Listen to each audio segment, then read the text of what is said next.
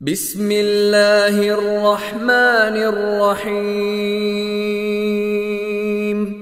قل أعوذ برب الفلق من شر ما خلق ومن شر غاسق إذا وقب ومن شر النفاثات في العقد ومن شر حاسد إذا حسد.